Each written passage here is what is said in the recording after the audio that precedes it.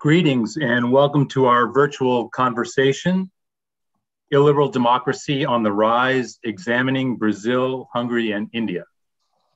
I'm Joel Rosenthal, President of Carnegie Council for Ethics and International Affairs. Carnegie Council is an independent nonprofit institution. Our mission is to identify and to address the ethical issues of today and tomorrow. For over 100 years, we've been working to empower ethics as a way to discover common values and interests that can lead to a better future. And I want to thank all of you for taking this time to spend with us this afternoon.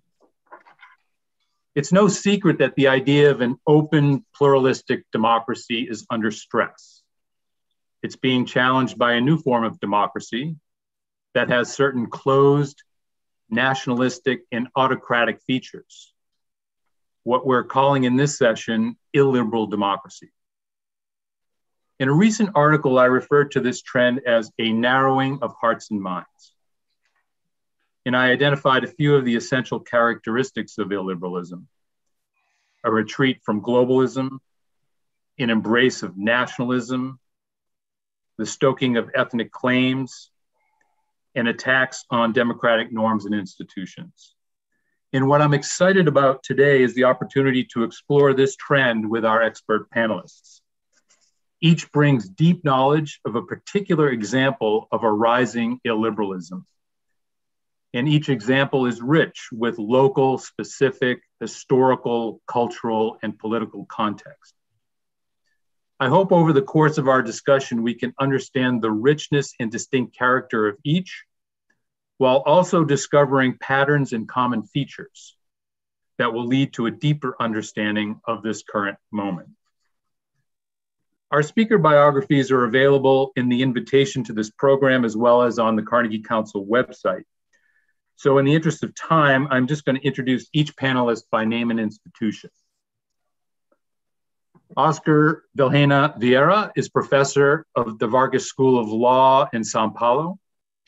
He is an expert in constitutional law and politics in Brazil. Gabor Halmai is professor of law at European University Institute in Italy, and he is an expert on international human rights and the Hungarian political system. And Prerna Singh is professor of political science and international studies at Brown University in the United States. She is an expert on the politics of South and East Asia including nationalism and identity politics in India. Now, before we begin, just a word about our format. After some initial remarks and conversation among the panelists, we will entertain questions from the audience. So all of you who are watching and listening, I encourage you to use the chat function and engage as we go. Uh, the reason we do these programs live is to engage with you, the audience. So please let us hear from you. Now we have 90 minutes um, and we will likely use it all. Um, so uh, we'll pace ourselves accordingly. Um, I've told the panelists that we'd like to keep this conversation as conversational as possible. Um, and we'll try to move through um, a series of questions and then engage uh, with the audience. So just to start things out, um, I wanted to start, I'm gonna start with Oscar. and I wanted to ask you, um, to maybe elaborate a little bit on this term illiberal uh, or illiberalism. It, it, can tend to be off putting, um, but I think in this case, it's a term we want to dig into a little bit. So maybe you could give us your sort of interpretation and how it applies to Brazil, the country you're studying. Okay, thank you very much for, for the invitation. It is a pleasure to be here with all of you, and I I'm certain that we'll gain a lot of understanding uh, better what happens in other countries that were uh, attacked by waves of, of uh, autocratic uh, populism. Yeah, yeah, Brazil has a misunderstanding with liberalism. Uh, even economic liberals in Brazil uh, never embraced fully political liberalism. And the left were always suspect of, of liberal ideas. So, in some sense, uh, uh, Brazil is an easy target for, for populism. That's the reason why we had uh, waves of populism in, in the past. And in this wave, Brazil uh, did not resist enough uh, uh, to populism. What happened in Brazil at this moment is, in some sense, the confluence of uh, three major illiberal pillars. One is the very conservative evangelical creeds uh, the second one is the nationalist militaries, which were always uh, very discontent with uh, liberalism. And third, uh, I would say economic sectors that are based on uh, attacks on the environment, very extractivist economic sectors. So Bolsonaro was opportunist enough to put together these three uh, pillars of illiberal uh, traditions in Brazil and mobilize them to uh, reinforce his, his power. So yes, uh, Brazil is under uh, illiberal attack from at least three, uh, three sides. And for reasons we will be discussing here further, fortunately, the institutions that were uh, in place by the transition to democracy 30 years ago are until this moment uh, putting some uh, resistance uh, to this uh, illiberal attack. But time really counts in favor of, of autocrat populism at this moment. Thank you. Gabor. Yes, uh, hello everyone, and thank you. Thank you for having me here. It's my pleasure. Uh, talking about uh, illiberal democracy, which, which was announced by Prime Minister Viktor Orban in a speech in 2014, proudly saying that uh, Hungary, after four years of, of, the, of the Orban government, uh, proudly get rid of, of liberal democracy altogether, uh, enacted a new constitution, an illiberal constitution, as he, he called it.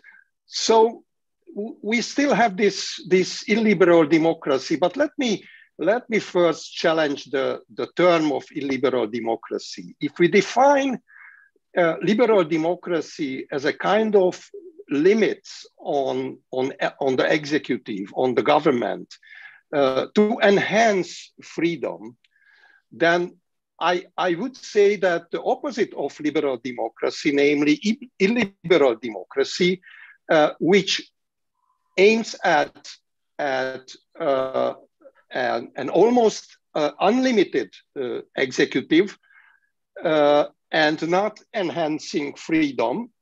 In that respect, this illiberalism cannot be democratic.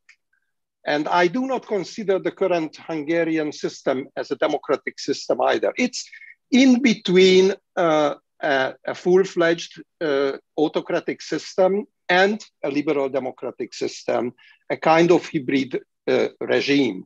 And one more word about populism, which is also, also one of the phenomena of, of the Hungarian uh, current political situation, very much used uh, as a kind of rhetoric by the Hungarian government.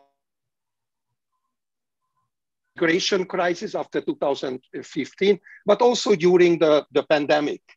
But I have to emphasize that this is not really a populist regime.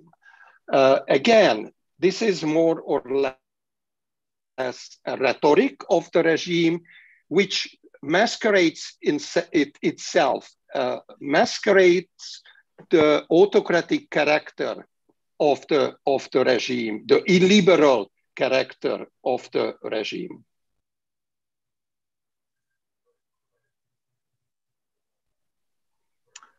Thank you. Prerna. Well, thank you so much for having me on this panel. It's a pleasure to be here. And I think uh, a lot of what I say really relates to what Oscar and Gabor is saying. And so I guess I want to begin by putting this in historical perspective to say that India in 1947, at the end of uh, centuries of British colonial rule, really took a gamble on liberal democracy. And so India was poor, it was illiterate, it had low levels of industrialization and very high levels of ethnic diversity. And so the institution of democratic institutions in India at the time of its foundation and the enactment of a highly secular, inclusive constitution in some ways uh, flies in the face of most dominant political science theories that would have predicted a less democratic outcome for India. And historically, uh, with the brief exception of uh, in the 1970s, a couple of years, India has maintained democratic institutions. And so this present moment, in some ways, marks a reversal of decades of quite healthy, always flawed uh, democratic institutions in India. And I think this relates uh, to Gabor's uh, description of Hungary in, is that at the present moment, India is somewhere in this kind of space of hybrid regimes. Uh, so just a few weeks ago, Freedom House demoted India from being a democracy to being a partly free democracy. And this gets to the question of what does it mean to be a partly free democracy? And the V-Dem Institute in Sweden went one step further and termed it an electoral autocracy. And so we're in this gray zone. Um, I think the key thing is that this is both um, and i think as oscar mentioned it's and this is why i think we're all on a panel together is that this is a playbook in some ways. There's an undermining of const- of the constitution. And in particular just at the at the beginning i just want to point out two domains in which this illiberalism this backsliding of democracy has manifested. And the first is uh, the crackdown on civil liberties a crackdown on dissent of any sort that is epitomized by attacks on uh, free speech and the media and social media. And the second is this discrimination and hostility towards religious minorities, particularly Muslims, that aligns with this idea of, um, of Hindu nationalism. And so um, I think that in some ways uh, we are in this very dark, gray, hybrid regime space, and it marks a reversal of India's uh, founding ideals and its constitution. Excellent. Thank you very much. And I want to pick up right where you left off, Prerna, and go like one step deeper into this sort of dark or gray hybrid regime. And you, I think you used the phrase, you know, elected autocracy, right? So what I'm trying to do, I'd like for each of you to say just a little bit more about what's going on. Um, again, we still have elections, um, and we've all seen the interviews of the people who are voting or autocracy, right? Um, um, proudly. So this is the puzzle I am trying to figure out, and I'm also trying to to figure out, as Gabor said, I'm trying to figure out whether we can use the term illiberal democracy, if this is helpful or if it's it's obscuring something. Uh, so, if you could comment on on those comments, um, maybe we'll just go uh, maybe reverse and maybe go from Prerna and then back around. So. Um, so thank you, Joel. Yeah. Yes, so uh, electoral autocracy is the term, is now the official classification for India according to the V-Dem Institute, which is one of these democracy watchdogs uh, of the sort that Freedom House is.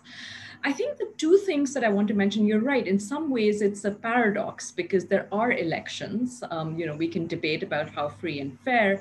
Uh, but on the other hand, uh, we are electing these leaders that we might variously call as right leaning, as populist, uh, as exclusionary nationalist. And so I think this kind of opens up, I think, this puzzle. The one thing that I'll say, uh, just for the Indian context, uh, just to again put it in historical perspective, is that in some ways, the rise of this present regime also reflects a almost near collapse of the political opposition. And so I think I, I, would be curious to hear what Gabor and Oscar have to say. But in India, uh, the BJP, for the first time in many years, has complete control over both houses of parliament. And this has given it a kind of, um, you know, muscle that has allowed it to do and enact certain things constitutional, like, you know, through elected institutions in a way that uh, a much more robust uh, political opposition had prevented in the past. And so, in some ways, I think that as we try to understand the rise of these illiberal, right leaning, populist, exclusionary nationalist regimes, we also have to pay attention to what is the flip side of that, which is where is the alternative? What is the opposition? And the rise of these regimes, to some extent, also reflects a complete crisis uh, of the opposition parties. I'm not. This is not at all to say that there isn't opposition to them, but for me, the the kind of source of that opposition in the Indian context is much richer from civil society uh, and from and not so much in a way from alternate political parties. Uh, and I'm happy to talk more about that, but I thought I would just leave it at that is that before the pandemic broke out, India's streets were, fill, were full of people, you know, people, ordinary citizens, organizations on the streets protesting the Citizenship Amendment Act. But those protests were really um, rooted in and led by civil society. Um, the political opposition that is missing, I think, is in some ways uh, I think important to keep in mind as we try to understand the rise of these electoral autocracies or whatever we decide to term them. Gabor? Uh, yes, uh, Hungary preceded India in the category of uh, electoral autocracy put by Freedom House uh, a year earlier. Uh, so actually, uh, the free and fair election happened only in the very first uh, uh, uh, election in 2010. even though it was a free and fair election, it was a very disproportionate election. So the, the governing party Fidesz got 53% of the votes and with that, uh, two-third majority of the uh, two-third uh, constitution-making uh, majority with uh, a majority of the votes. Uh, this used Fidesz to, to enact a new consent by opposition parties, civil society organizations, or the broader public. There was no referendum on that new, new Fidesz constitution. the two next election in 2014 and 18 were not even fair elections. So in between, Fidesz, with its two-third majority, changed the electoral system uh, substantively, making it even more proportionate, meaning that in 2014, they got the same two-third majority with for the minority of the votes, they got the two-third majority. Uh, and even I should should mention to to characterize this kind of electoral uh, uh, type of autocracy that the elections are certainly not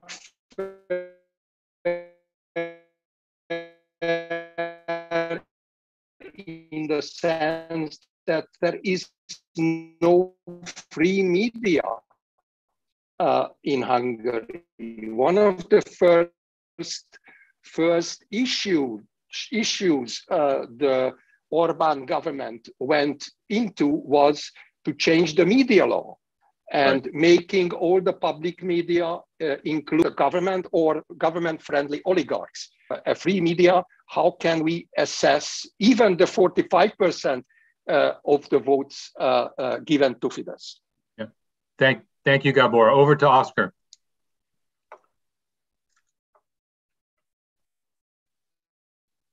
Um, Oscar, you're still on mute. Perhaps it's just a matter of time. Brazil elected Bolsonaro only two years ago. So we didn't fall in the same category yet, according to Freedom House. Uh, however, uh, we are uh, profoundly concerned of how things are moving in Brazil.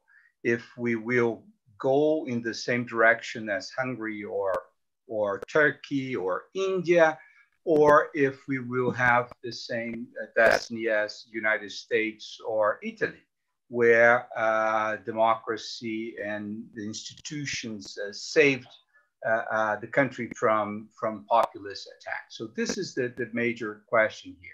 But I would also uh, move back a little bit as uh, uh, uh, did when she talked about India. my professors, like Guillermo O'Donnell, invested a lot of time to try to understand when the, the authoritarian regime ended and when democracy started in, in Brazil 35 years ago. Uh, and now our generation is starting to trying to understand when democracy ends and authoritarian uh, starts. So uh, my perception is that we had a long history of incomplete democracy. So profound and persistent inequalities, different than India, but we do have a, a, a, this persistence that make it very difficult for people to uh, benefit themselves from uh, democracy and, and, and, and rights. Uh, so Brazil always had this authoritarian uh, social enrooted feeling and people were treated very distinctly uh, by the state. So yes, Brazil moved to democracy but very incompletely. And now we are regressing to authoritarianism in a, in a faster way. So this is a, a little bit how I, I do think that even though we do not fail to uh, a liberal uh, uh, or undemocratic uh, system yet, uh, the, the, the weight of authoritarian and illiberalism became very uh, heavy in the Brazilian life at this moment. Great, thank you. So uh, this is very helpful, but we also see in this conversation, you know, a certain attraction to this elected authoritarian, you know, hybrid model, right? So, and I take Gabor's point, which is we have to make some, um, have to have some skepticism of the sort of freedom or fairness of these elections based on the information that's being provided to the electorate and the sort of um, deliberate um, undermining or corrosion of the of the free press and the you know the right of free speech and so on. So, um, with that noted, and we can come back to this this sort of erosion um, of, of free press, free speech. Um, I wanted to go a little bit deeper though into again this what what might be the attractive if I may use that word, quality that people are, some people are moving in this direction and raise the issue of the the ethno nationalist agenda here right? This is again thinking about what's in common of this rise of a liberalism. Let's face it this is these are ethnic claims right? There's a there's something there. So um, you know maybe if you could each elaborate a little bit of how it looks from where you are whether it's Hindu nationalism and so on, um, the Hungarian nationalism um, in Brazil. I'm curious how this bounces. So maybe Oscar, I'll start with you. We'll go back around. Um, the this sort of ethno-nationalist component and how important you see that as a sort of driver of what of what we're seeing right now. Oscar, start, start. yeah. Starting with me. Yes, yeah. I think the, the nationalist uh, uh, old card uh, that helped populist uh, leaders to establish common enemies is, is, is something that we, we understand. Yes, Bolsonaro comes from the military, which are uh, those who, who breed nationalism in Brazil. He's a former military. He played the card of nationalism against uh, mostly what he calls a globalism, which is a, mix uh, of, of strange ideas, but basically that claims that Brazil lost its sovereignty for those who have liberal ideas in terms of human rights. So he has a strong discourse against uh, uh, human rights and the environmental, uh, in, in the, the idea that Brazil is always under threat of the environmental movement that wants to retract from Brazil uh, the sovereignty over the, the forest. So the nationalist key here is not against immigration because we don't have any particular wave of immigrations arriving in Brazil, but the, the nationalist uh, uh, key is play against the environmentalist concerns of the globe regarding the Amazon. And that's how he mobilized Brazilian society against uh, international perception and criticism on, on, on environmentalism. So this is how it, it is built. And also there is an anti-communist, which is very awkward uh, uh, uh, discourse made by the military that uh, Bolsonaro incorporated. So who are the communists? Communists are everyone that is uh, not anti-communist. So uh, the Economist is that just made a, a, nice report on a bad, nice in, in, in terms of quality of the report about Brazil is uh, uh, uh, blamed as a communist journal. So this is the perception, how we play the nationalist role here.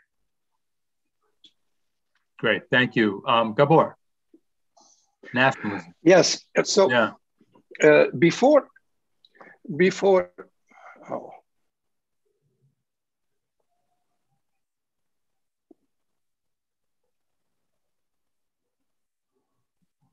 Gabor, can... Uh, I cannot see you. Can you hear me? We can. We can see you and hear you. Okay, I cannot yeah. see you, but anyhow, uh, let let me let me go back a little bit before sure. I go to to your your uh, immediate question about nationalism.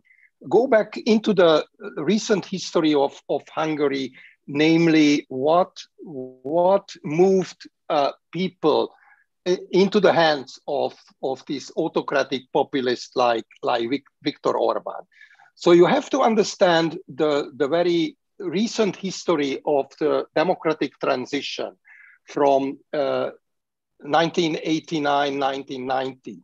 Uh, when one of the one of the, the main issues of the transition was to to live better than than in the communist times uh, certainly this was the main motivation of the people to change the system beyond uh, the pursuit of, of democracy uh, and freedom. And what was a disappointment after, after about 20, 25 years of, of democratic uh, transition was that, that this living better uh, approach still did not uh, work.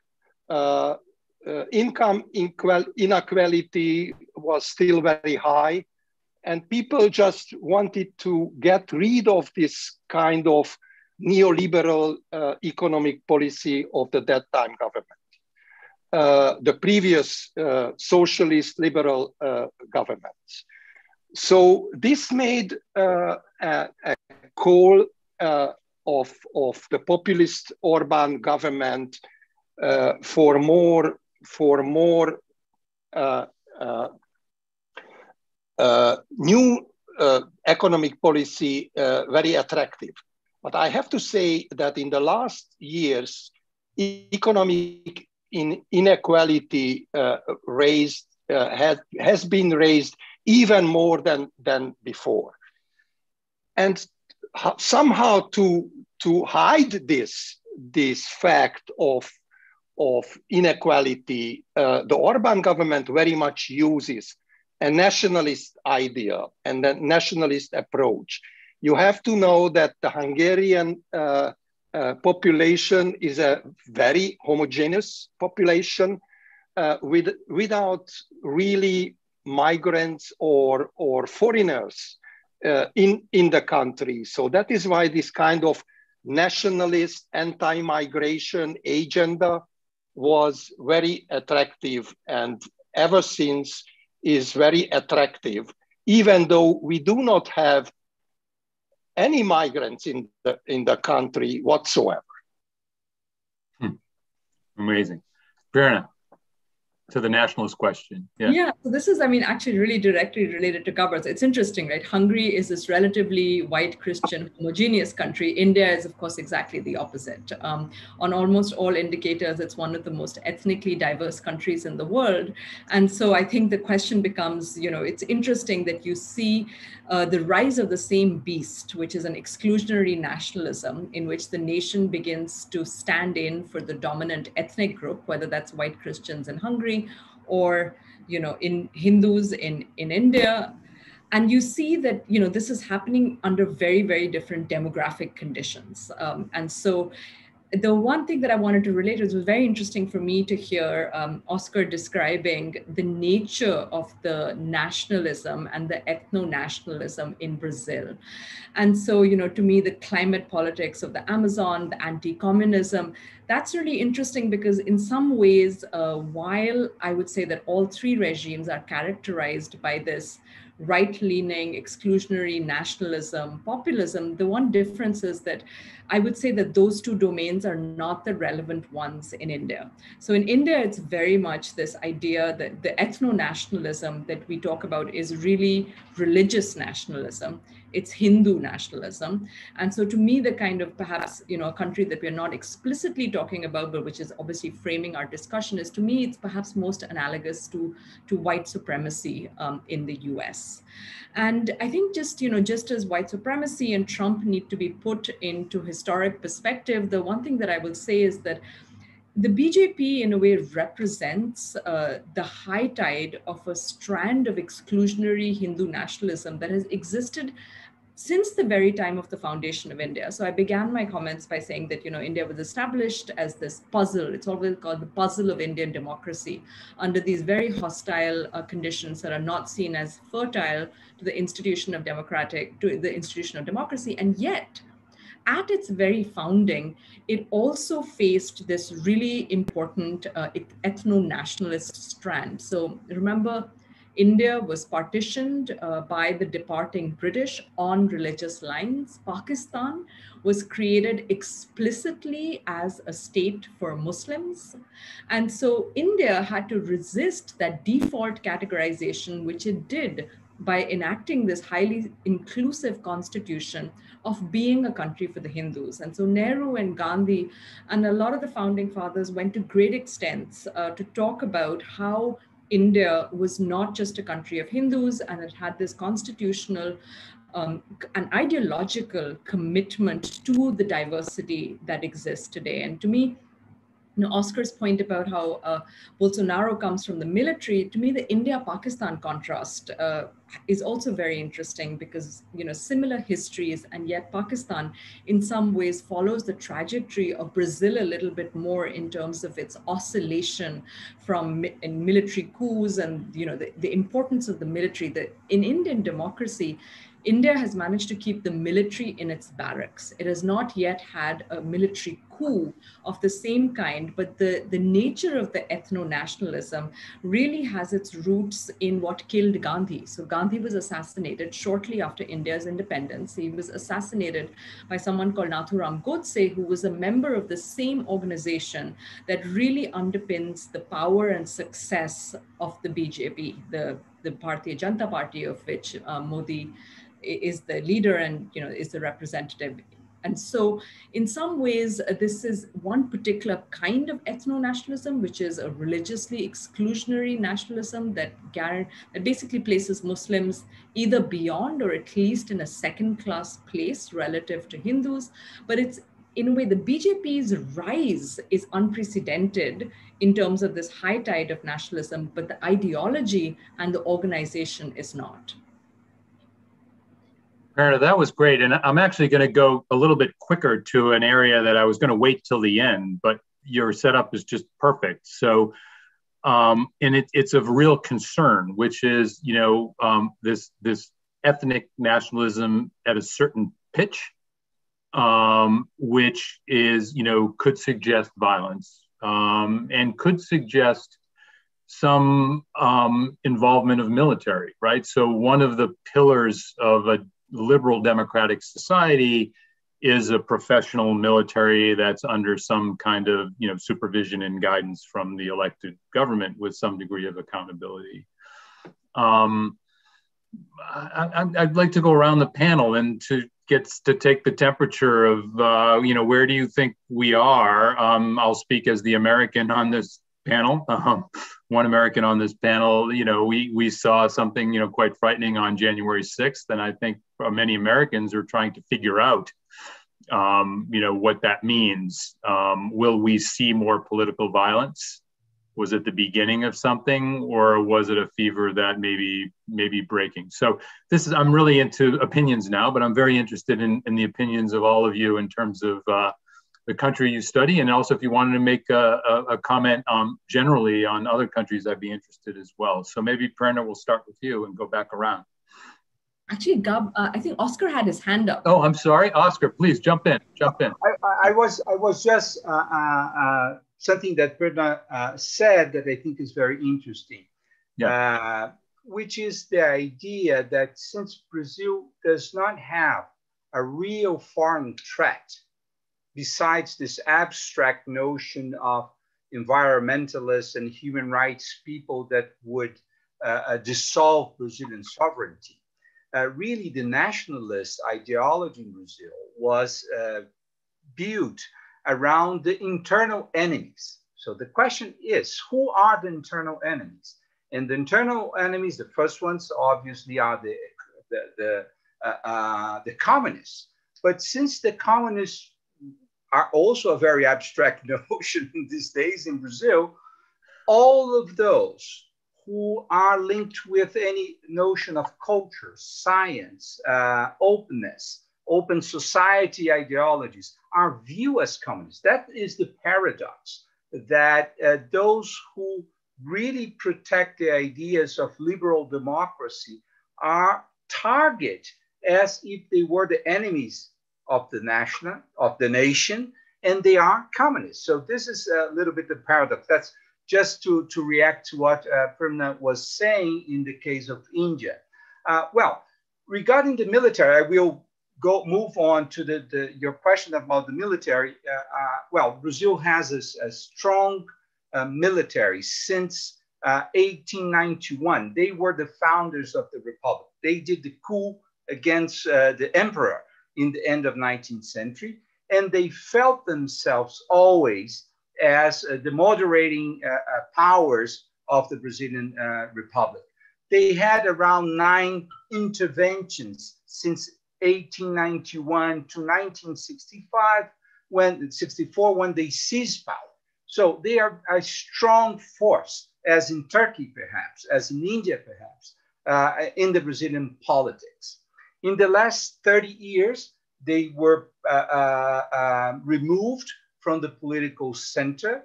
Uh, they were professionalized. Probably the Air Force and the Marines uh, were more professionalized than the, the Army uh, itself. And they became very vocal with the crisis, the political crisis that started in 2013 in Brazil, with the corruption scandals that involved the left in Brazil. They start to become employed in several security uh, internal security activities. So that's when uh, Bolsonaro was elected. Uh, this coincides with the return of the military to power. Uh, just to close this session, uh, the dangerous here is that uh, Bolsonaro has a link, an ideological and political link with the low ranks military, which could bring destabilization to the system. Generals uh, coronels are much more skeptical about Bolsonaro. And he also has uh, political connections with the polices. Brazil has 27 states, 27 different polices that are militarized. And Bolsonaro comes from, and his sons uh, comes from this uh, uh, uh environment. So yes, I think that the, the, the largest risk to Brazilian political democracy at this moment is the involvement and the support of the military, especially the military police uh, uh, uh, uh, on Bolsonaro. This is where this destabilization of the regime could come. Thank you. Um, let me go over to Gabor. And how, how do you feel about this issue of uh, public security potential for, for violence, use of force? Yeah, uh, again, before going to this yeah, question, let sure. me react to, to both uh, uh previous uh, issues, namely uh, the role of religion in Hungary and the, the enemies. So I, sure. I did not mention uh, uh, religious uh, uh, diversity because Hungary is a religiously uh, homogeneous society as well. And by the way, a very, very unreligious society. So uh, true believers, uh, uh, churchgoers are, are very low in, in percentage in, in Hungary. So that is why this kind of, of rhetoric of Viktor Orban, uh, after announcing the illiberal democracy, changing it to Christian democracy, uh, which is more, more probably uh, well received in Western Europe, is, is rather a kind of rhetoric. Uh, besides some anti-Semitic uh, uh, overtones of, of this illiberal rhetoric against George Soros is, is present, but, but it's not a, a real religious issue in Hungary. Enemies are, are there, of course, in that sense, populism works. Uh, the enemies are less the communists who more or less disappeared in the last three decades, but uh, the main enemies are liberals, uh, who are very often made equal to, to communists, former communists. Uh, the military uh, hasn't played any crucial role since the democratic transition, uh, really and this is also due to the fact that Hungary very early joined the NATO, very early joined the, the European Union. So it's very hard to imagine any kind of, of involvement of the military in in a NATO and EU member state. Uh, on the other hand, there are certain, certain issues uh, regarding migration and, and the hatred towards migrants, which is very much used by the, by the, by the Orban government to, to make the security uh, an, an issue, not in a, in a sense of the military, but being alerted, using the secret police against those, those possible migrants uh, who are again are not present uh, in nowadays uh, Hungary. So this kind of, of, of issue with, with security is present, but I, I do not expect any kind of, of, of uh, violence, uh, even if it comes to the question whether Viktor Orban can keep uh, its power. Gabor, while you have the, the floor, I just wanted to, to follow up a little bit on the issue of uh, religion. I see there's a comment in the chat from our senior fellow, Janos Pasztor, about uh, asking about the um, you know, minority populations, um, particularly Roma um, in Hungary. And uh, you mentioned very briefly the issue of anti Semitism. Maybe if you could just say a little bit, just a word or two more about uh, you know, threats to the minorities in Hungary from a, you know, a security perspective, you know, physical security and their just the prospects of life uh, in this sort of hybrid regime. So even though, as I mentioned, uh, religion is not not the main issue uh, in the agenda of the of the Orban government, but still one of the first laws they, they enacted back in 2011 when the new constitution uh, has been uh, enacted was a new church law uh, uh actually deregistering uh, more than 300 very small churches. Uh, they were not, not uh, big in numbers. I mean, uh, those members of those churches, but the message was to, to make the, the, the Christian and especially the Catholic Church the, the main player uh, uh, in the Hungarian religious uh, side.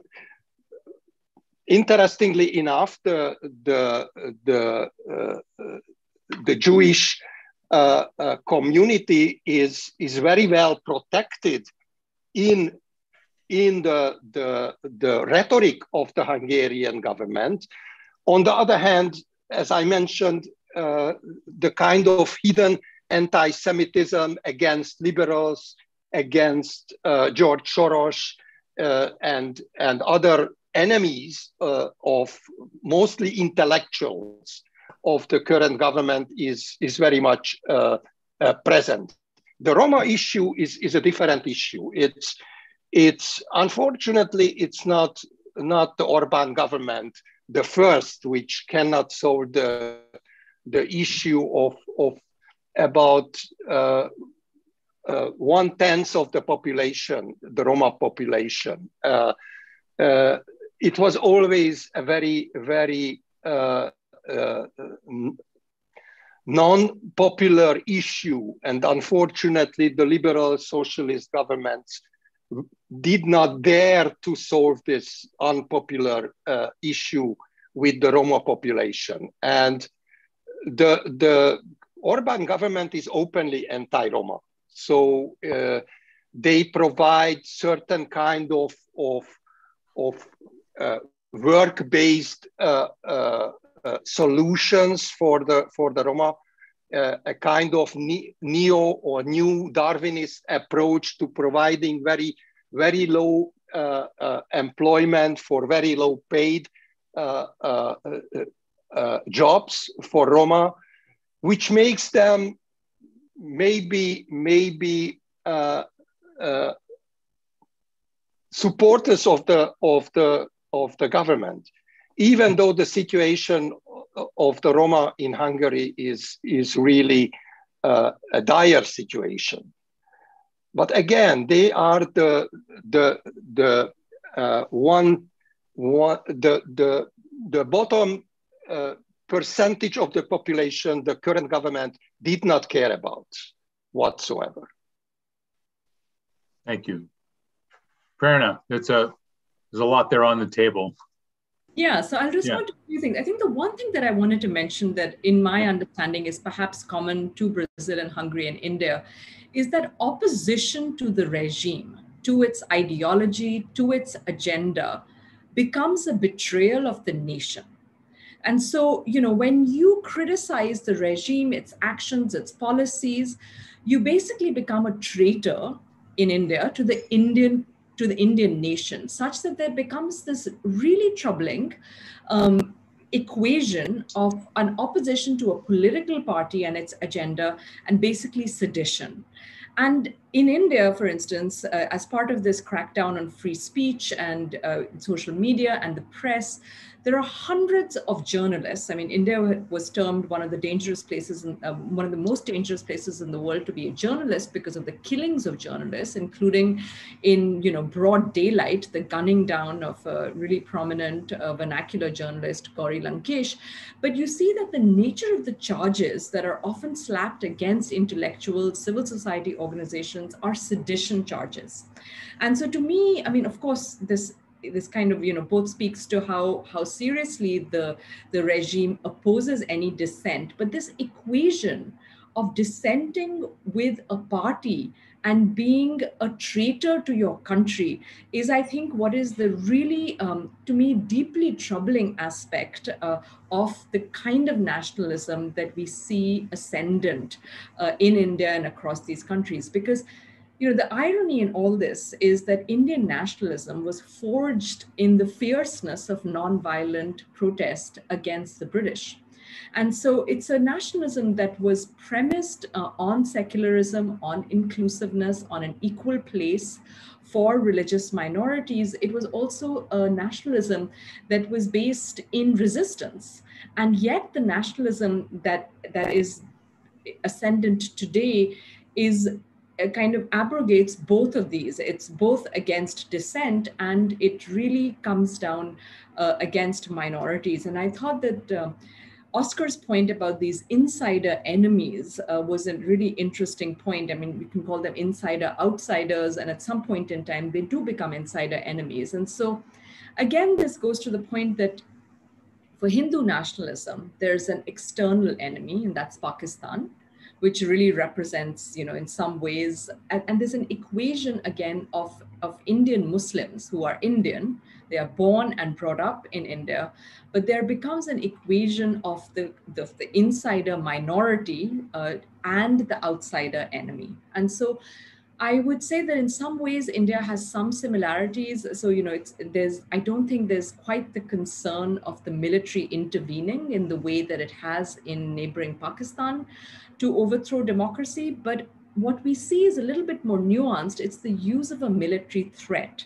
And so now, you know, it's well known that the regime kind of used this entire instance. So Pakistan is the bogeyman, you know, so the kind of threat from a neighboring Islamic country uh, and the equation of that to then a kind of, you know, fifth column within the nation itself represented by the Muslims uh, is the kind, so, you know, it's a nationalism that kind of preys on this kind of military threat while still the military is in its barracks. So I think that that is an interesting, uh, in a way, nuance, uh, you know, not quite the kind of violence that we have seen, uh, for instance, in the US, but on the other hand, the scapegoating of Muslims has taken on highly violent, hostile dimensions. And so, you know, the the idea of lynchings, again bringing it to the US, but we've seen the lynchings of Muslim men. I mean, and this is not just Muslims. You know, India has a long history of uh, of discrimination and hostility to lower castes. And I think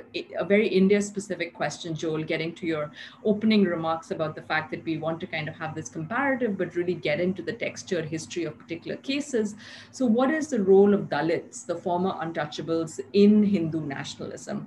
I think becomes an important and women, you know, the highly gendered nation. Um, so, you know, there it's interesting because I there was a, an opinion piece recently uh, by someone I respect who spoke about how uh, Modi tries to come across as a lot softer than, and the explicit comparison was Bolsonaro and Orban. And so, you know, in some ways, uh, there is this kind of, you know, there's a similarity across them, but it's also a highly gendered idea of the nation. It's a highly high caste idea of a Hindu nation. So within religious nationalism, there are all these other gender and ethnic identities um, that play into it. And the final thing that I will say again is, you know, just before because I saw some remarks in the we're in the midst of a pandemic, and so to me it's been interesting to reflect in a way uh, what the pre-existing rise of this kind of exclusionary nationalist illiberal um, regimes, how that has played into COVID, to responses to COVID, and how COVID itself might have been a kind of justification for the for the increasing power of these regimes, but also just to say that you know COVID was very convenient uh, for the Indian regime because it was facing one of its uh, strongest oppositions from civil society and ordinary citizens who had come in and so the crackdown uh, after COVID was just very, very convenient uh, for the Indian regime, for the BJP regime to kind of, you know, just institute a crackdown. And so Delhi, which is the city that I'm from, had witnessed this really rich protests by these Muslim grandmothers and women. And so these women were just, you know, completely the entire protest, which had been really inspiring for many people who contested this idea of illiberal nationalism, were, you know, so COVID in some senses just allowed allowed the regime to kind of, in a way, just you know come down on these protests that to me you know we are we're always kind of looking at these dark and gray sides but there is a lot of opposition even if it doesn't manifest always in the electoral results. And i think that's a kind of open open question as well as what would opposition to these regimes look like in these different domains? Wow that was thank you Prerna so much in there. Let me let me get back to you maybe three different points just to continue the conversation. Then I want to get to some issues that are in the chat. So one of the commonalities, and thank you for raising this issue of, um, I'll use the word language, the language of the leaders, Bolsonaro, I'll certainly certainly Trump, Orban in his own way. I don't know as much about Modi, but the way in which they talk about, as you say, the other, the way they talk about their enemies, the way they talk about migrants, um, you know, really taking it to a very low place. Um, and, and not just sort of um, in passing or by mistake, but, but certainly with intention. And I'd like for, for you each to, to talk a little bit about that, just the, the, the discourse that we find ourselves in now. And, you know, speaking as an American, I was quite alarmed by some of the language that President Trump would use, and not only use, but use to some applause, right? So um, I think that that's a, a, commonality that we see in the so-called uh, playbook. There's one other thing I'll just throw out there if anybody wants to to talk about it. But again, you, you can't help but see it as, as a as a pattern, but just blatant corruption. Um, and you know, almost almost proudly rewarding one's friends and punishing one's enemies using the power of government in ways that sort of quite quite shocking. I don't know if any of you want to, to, to say a word about that.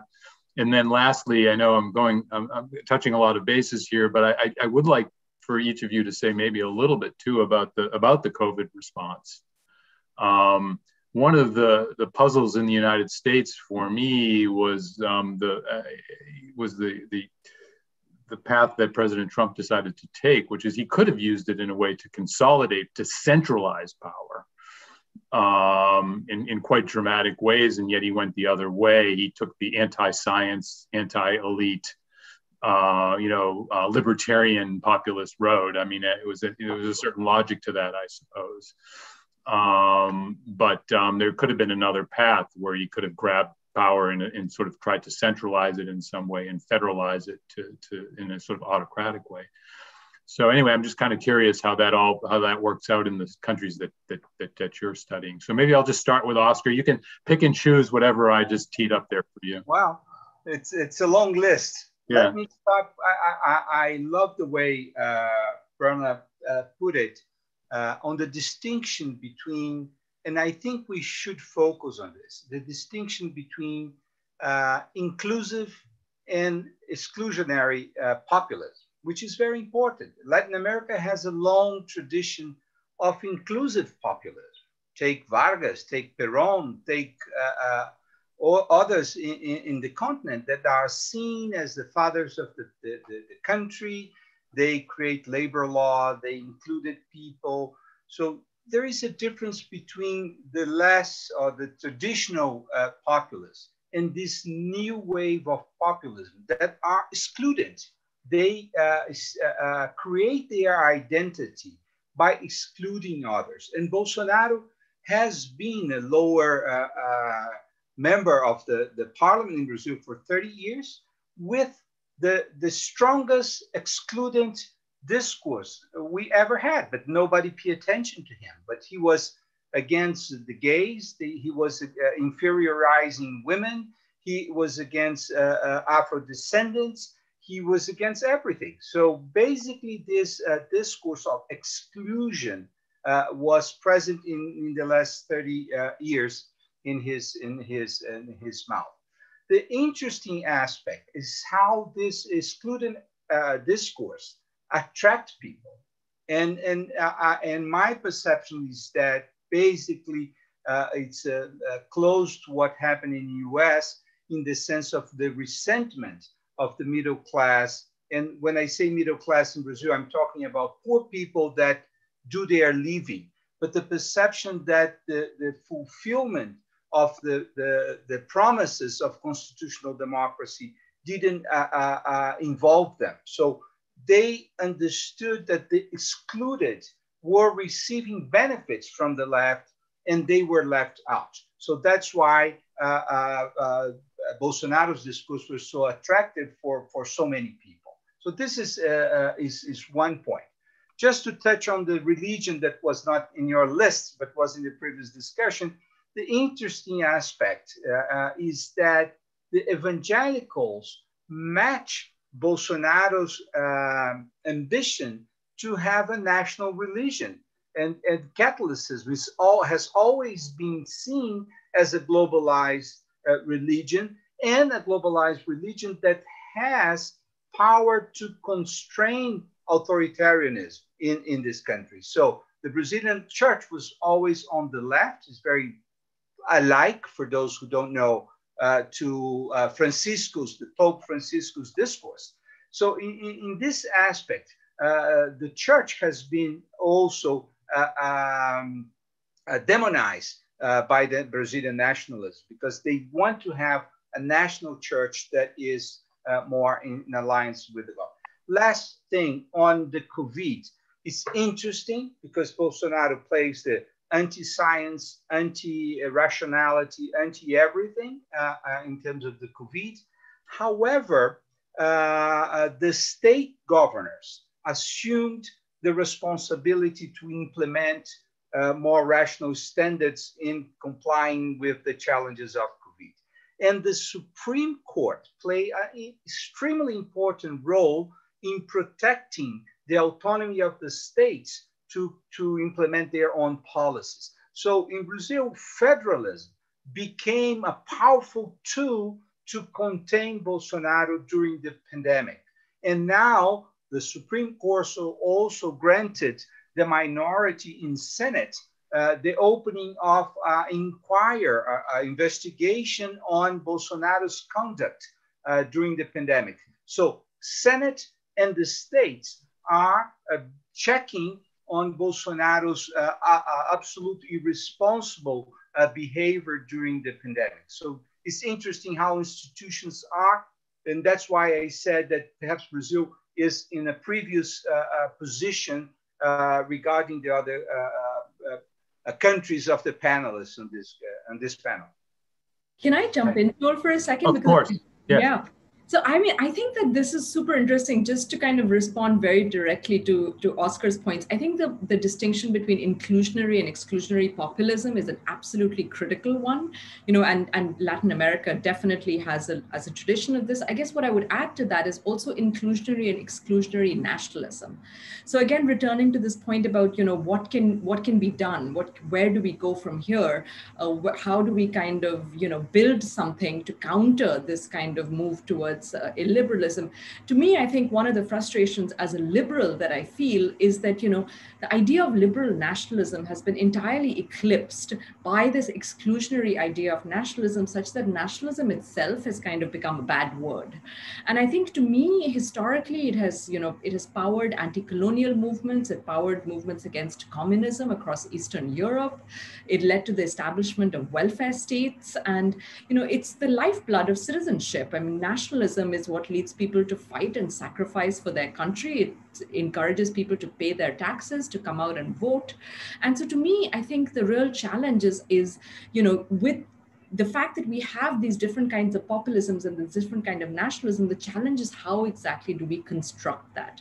And I think the post-pandemic world is going to offer, you know, challenges, but also opportunities. And so what would the kind of construction of this more inclusive idea of nationalism, because my concern is that by giving up on nationalism, it's almost like giving up on a container that can be filled with anything. So a political theorist calls it a battery, you know, and so it's a battery that can be used for destructive and constructive purposes. To me, I think the idea of a recovery of a liberal nationalism that can power liberal democracy is, is both, uh, you know, obviously a highly challenging, but also a deeply appealing idea. And, and so, you know, that that's something that I just wanted to mention. The one thing that I will say as regards COVID, um, you know, there's a, a, comment in the chat, which I want to acknowledge, is that even after COVID uh, broke out in India, protests, particularly farmer protests, have continued. So the initial protests were against the Citizenship Amendment Act, which basically restricted Muslim refugees' ability to apply for citizenship. So to get to your point, Joel, about language,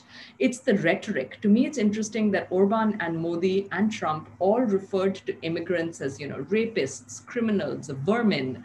You know, this is the kind of terminology, but it's not just terminology, it's acts, it's, it's concrete walls. In India, it's a changing of the constitution to make it more difficult for Muslim refugees to get citizenship. So it's language plus real laws. Um, and I, I'm happy to kind of talk a little bit more about COVID, but to some extent, you know, the the BJP regime's response to COVID in India has been nothing short of criminal in so many different ways. And so, you know, to me, the idea that the world has become so much sicker from COVID because of the ascendancy of these regimes, and to me, coming out of the Indian case and, you know, the continuing to rage second wave um, has been just really tragic and, and, you know, if not avoidable, uh, just need not have been the scale of suffering and humanitarian tragedy that, um, that a public health emergency was allowed to metastasize into. That's great. Gab- Gabor, you want to jump in? Yes, with pleasure. Thank you. Uh, uh, there is a lot and very interesting questions in the chat as well. So let Yeah. me let me refer to, to, to the COVID issue and then uh, uh, turning to, to one of the interesting questions regarding the role of the EU, because this is a Hungarian issue Right. here in the panel, because Hungary is the only EU country. So uh, I guess that the, the COVID or the treatment of COVID by the uh, Orban government is, is very much characterizes the, the, the entire system and the working of the system. So very few people know, uh, uh, uh, and especially not in Hungary, uh, that the Orban government in the second and the third wave performed uh, very badly uh, on the front of, of COVID. Hungary has still has the highest mortality rate per 1 million person. Almost 3,000 people died out of 1 million, which is, which is very high. But in the lack of, of free media, no one is really talking about that.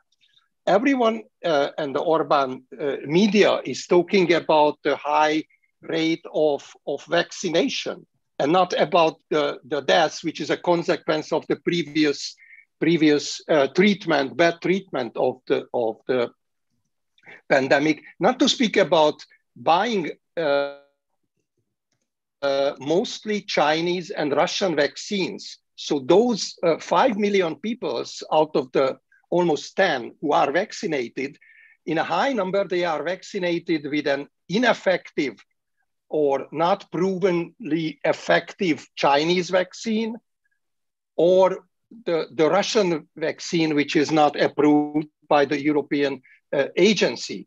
In other words, uh, the popularity of the Orban government did not go down despite the fact that, that the government performed so badly on the front of, of the pandemic. And the other issue that Orban was the first to use uh, the pandemic to introduce uh, an emergency power, even increasing the unbound executive uh, power, even violating its own constitution. So, in other words, I would say that, that here again, um, my thesis is that this is not so much populism. Uh, the rhetoric is populist, but the very pursuit of this government is to keep its uh, autocratic uh, power. And a couple of words about the European Union. So it's more than 10 years, uh, this Orban government introduced an, an illiberal democracy within the liberal democratic uh, European Union. And actually, almost nothing happened. Uh, a procedure have been introduced, but actually, due to the due to the procedural boundaries, uh, no sanctions uh, has been imposed whatsoever.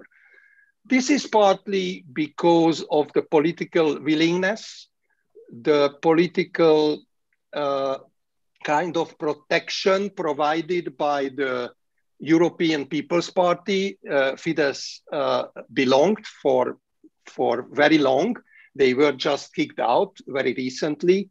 So they, they protected very much the government and especially the German government. and this is not the German government itself only, This is the German car industry, which is very much uh, uh, present in, in Hungary and do not want to anyhow uh, harm the Hungarian uh, government's very beneficial treatment of this, this uh, uh, car industry. Uh, so, in other words, the EU, even though has legal toolkits to go after Hungary, and even recently uh, empowered EU institutions to go for, for EU funds, curtailing EU funds, but nothing has happened. And I have to assume that this is because of the of the lack of political willingness by by the EU uh, institutions and the most powerful EU member states.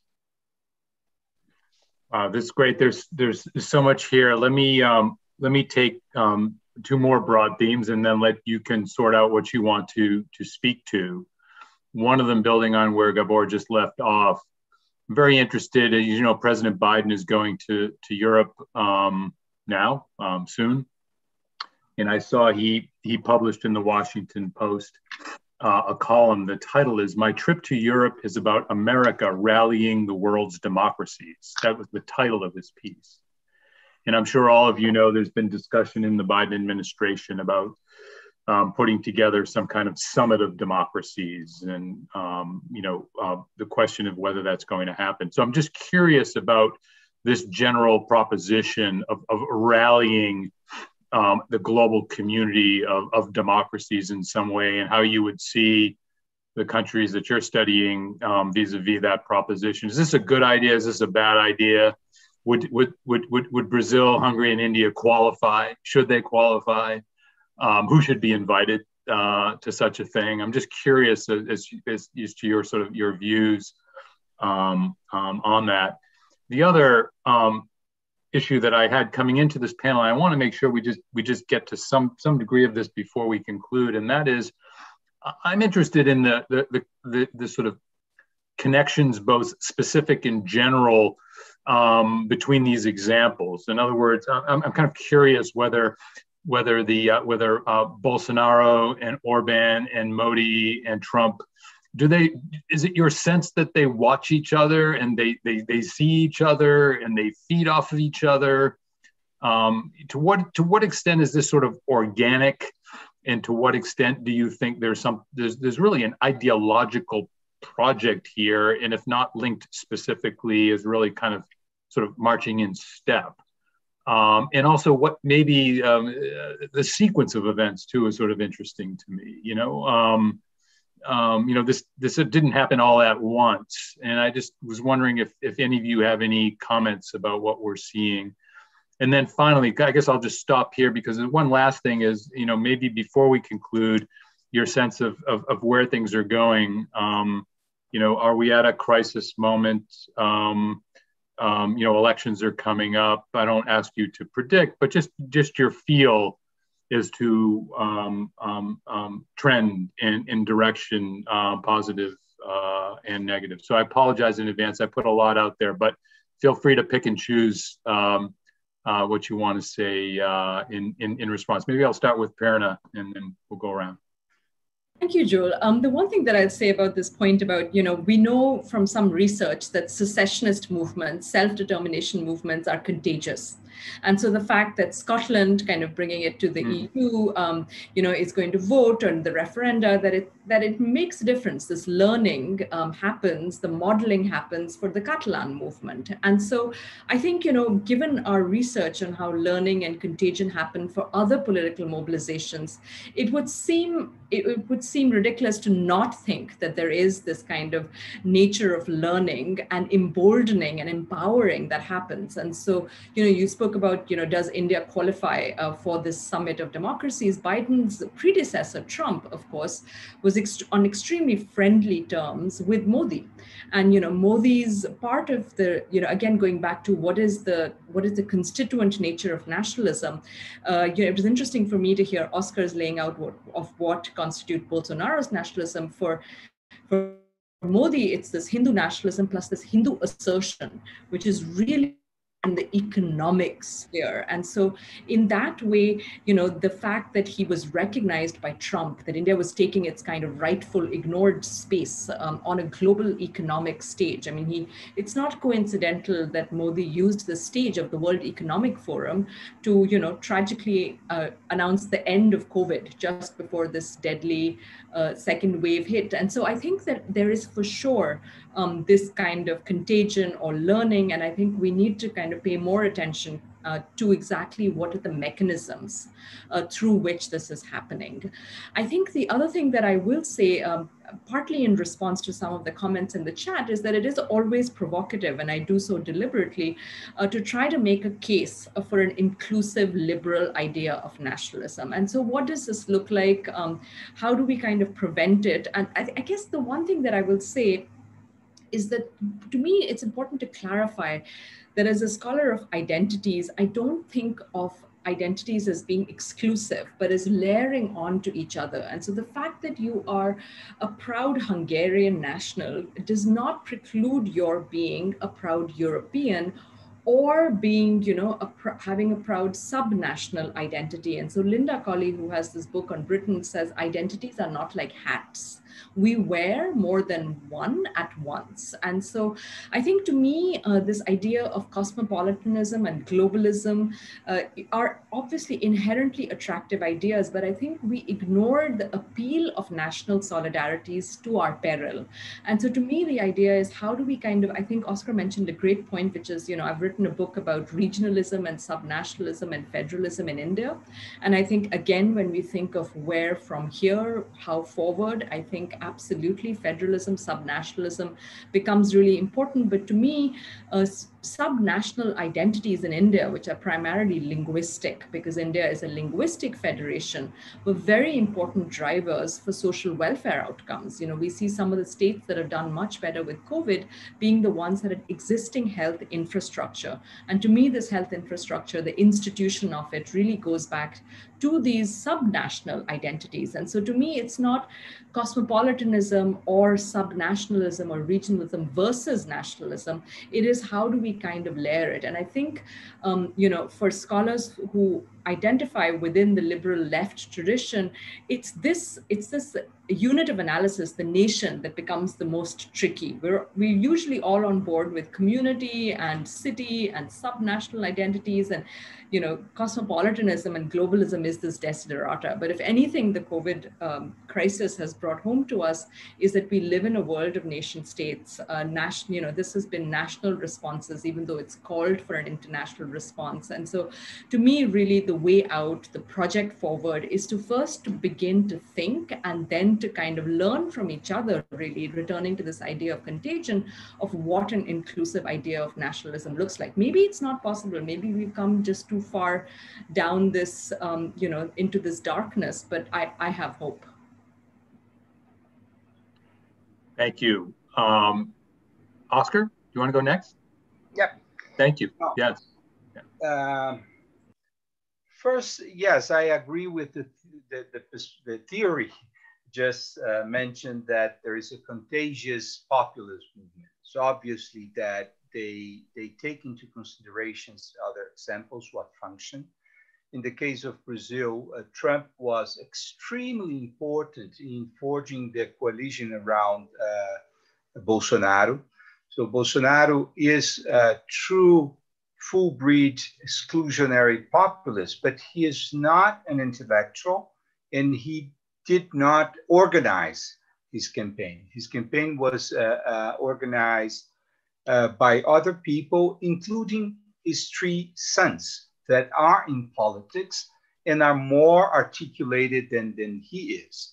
And with uh, the election of Biden, he lost uh, a lot of uh, his support uh, from the United States, but also this opens the door for him to try to play the leadership of the right, the extreme right in, in the hemisphere. So yes, it is.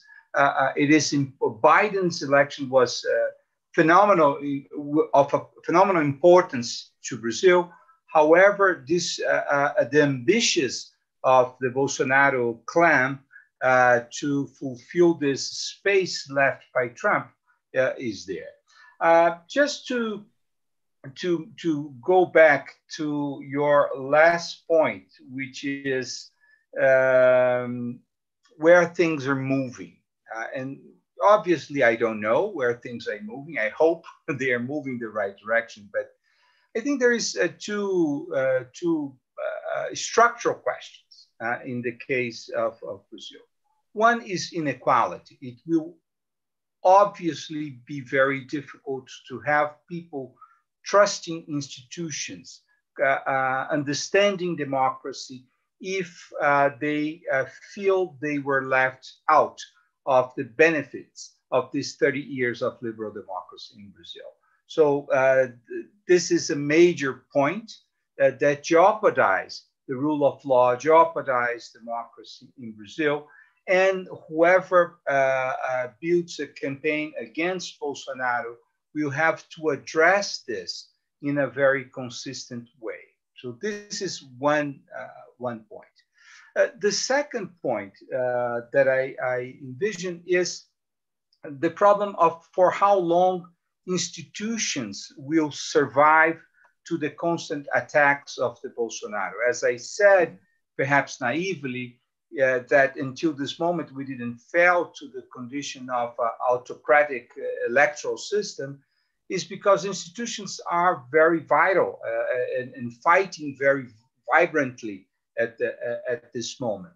Uh, Brazil has a, a in Lijphart concept a, a, very consensual democracy. So there's a, a, large number of political parties, and the president wins has to create a coalition. And Bolsonaro was unable to establish a strong coalition. So this means that he is not being able to do what Orban did in Hungary by uh, uh altering the constitution. Brazil didn't make any reform in the constitution, any major law uh, uh, that uh, threatens democracy until this moment. However, Bolsonaro is using his prerogatives as president very like uh, uh, uh, Trump to, in some sense, neutralize uh, federal agencies that are responsible to implementation of, uh, of uh, progressive policies of social rights.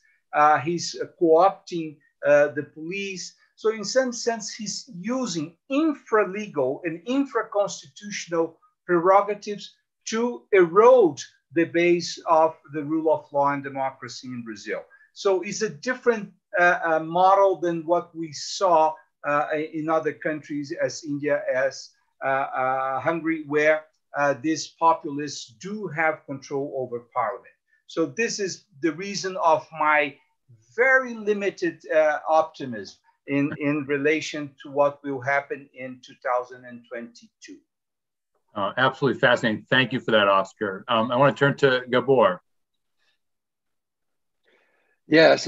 Yeah. Before I, I, I talk about the, the possible future, let me turn to, to your very first question about yeah. the democracy promotion by President Biden or others. Uh, uh, possible impact on, on Hungary. I'm very pessimistic about that. As you know, the European Union has been a value community of, of democracy, uh, rule of law, and fundamental rights, and had no impact whatsoever on one of the member states. So, what can we expect from, from uh, the US uh, and, and President Biden, who is is very, very much uh, uh, uh, a kind of enemy of the Orban, Orban government. Orban, from the very beginning of the electoral uh, campaign, supported openly Trump. and I don't think that any kind of democracy promotion would help. in, in that respect. Maybe uh, economic pressure uh, would do the thing. Uh, it's still still important for the for the Hungarian government, although, and this is unfortunately the case with with the European Uni Union uh, uh, connection as well. That uh, Orban built up a very strong connection both to China and Russia this is a kind of political connection, uh, a strong support, and an economic alternative in the case the, the European Union would, would uh, somehow, somehow end uh, uh, supporting an illiberal regime within the, the community. So Unfortunately, Orban has alternatives to, to that, and this would be probably the case with the US uh, uh, economic uh, relationships. About the future.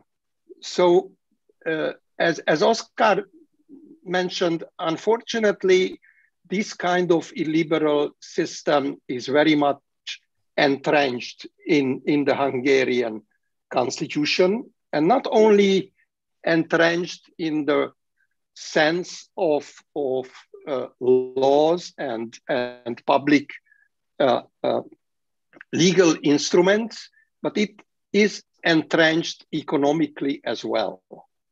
So not only are all the, the, the public officials, high-ranking public officials, from the president of the republic to the pact the members of the pact constitutional court, the president of the Supreme Court, and so on, are uh, elected exclusively by Fidesz votes, and they are in office for at least nine more years. Uh, the, the regime is, is also entrenched economically. So the government started to privatize uh, actually huge chunk of the Hungarian state economy, including the state-run universities. Most of the, of the state universities are in the hands of, of so-called private foundations, uh, in the hands of cronies of the government, the Orban uh, uh, party. Uh, and even if a new opposition party would win the next election in 2022, they cannot reverse uh, neither this kind of privatization nor the public setting, public law setting of the system. They need a two-third majority to change the constitution.